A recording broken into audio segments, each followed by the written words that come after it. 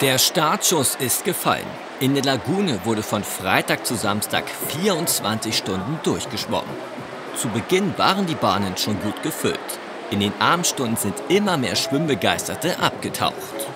Die Mitglieder der Deutschen Lebensrettungsgesellschaft hatten mit dem Zählen der zurückgelegten Runden voll zu tun. Sie waren im Dauereinsatz. Mit wenig Schlaf, hin und wieder kommt mal jemand vorbei, bringt was zu essen oder zu trinken mit. Und eigentlich sind es viele lustige Gespräche, viel Spaß, auch am Beckenrand, im Wasser.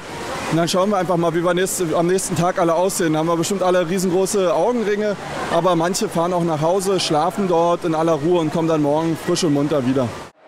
An der Anmeldung gab es keine Pause. Die Mitmachkarten mussten ausgefüllt werden und das gleich 1944 Mal. So viele Lausitzer sind gekommen. Das ist ein neuer Rekord. Für die Lagune ist das 24-Stunden-Schwimmen ein Besuchermagnet.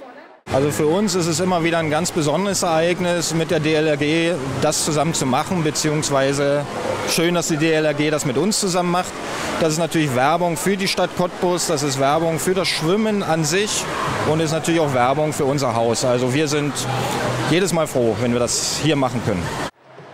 Insgesamt wurden 5092 Kilometer zurückgelegt. Die DLAG hat damit das diesjährige Ziel erreicht.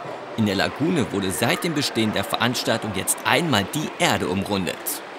Der jüngste Teilnehmer war übrigens drei Jahre und der älteste 82 Jahre alt. Das 24-Stunden-Schwimmen ist somit in jeder Altersklasse beliebt.